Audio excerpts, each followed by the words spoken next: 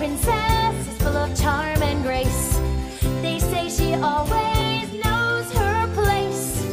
They say a princess wears pink and frilly clothes. They say she never laughs and snorts milk out her nose. They say she's calm, they say she's kind, they say she never speaks her mind or phrases nanny's used big behind. But you